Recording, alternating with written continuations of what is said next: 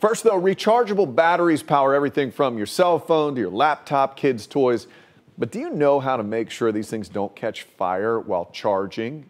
Is that something you're even worried about these days? Well, here at News 6, we're getting results for your safety. Thank you for joining us tonight. I'm Matt Austin. And I'm Ginger Gadsden. A News 6 investigation revealed there were no statewide safeguards for storing lithium ion batteries. Our investigation played a crucial role in passing a new law. A reminder of what News 6 investigator Eric Sandoval uncovered. Several fires last year started by lithium ion batteries, including one inside an e bike repair shop in New York that killed four people. And most recently in Brevard County, an e bike battery caused a fire that sent one person to the hospital with severe burns and destroyed a home. And these fires, they spread fast. Scares the daylights out of me. It is a fire that burns hotter and faster than any fire we've ever seen and we don't have the tools. After our investigation, lawmakers introduced a bill creating a safety checklist for storing and charging devices with lithium ion batteries. In February, Eric traveled to Tallahassee to see those changes pass the final committee before a Senate vote. And we got results. So we've been, with that signature that the governor did, that's enabled rulemaking. So we're going to lean forward and we're going to start creating policies that make sense for safe handling to make sure that our families are safe and our first responders are safe. But uh, KMG was a great partner in all of that. Couldn't have done it without them.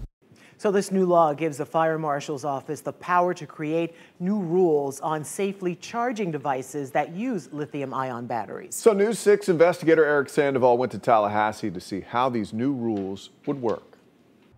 We're right outside the Florida Department of Financial Services, which oversees the state fire marshal's office. And we just got out of one of the first meetings here in the state capitol designed to reshape these fire safety rules. We also got our first look at what these rules may look like. We appreciate your participation in today's workshop.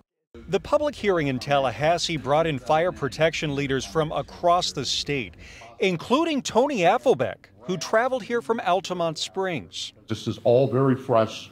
Everything is coming out every single day. By the time we publish this, some portions of this will undoubtedly be out of date.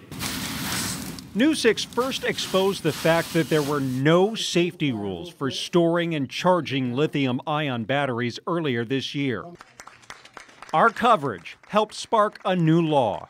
KMG was a great partner in all of that. It gives the state fire marshal's office the ability to write those new rules to prevent those battery fires. And we just got a hold of a working version of the rules the state is considering. When charging scooters or electric bikes, residents and businesses would first need to follow the manufacturer's guidelines.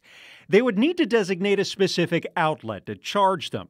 No extension cords could be used, and no debris could be within 10 feet of the charging station. And that charging station could not be located near an exit. More rules are being proposed for electric vehicles and making sure parking garages are equipped with fire sprinklers.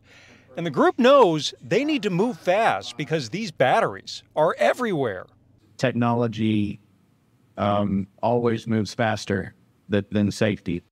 Now, more of these meetings are scheduled, and they're actually taking them on the road. Some of them are scheduled for Central Florida, too.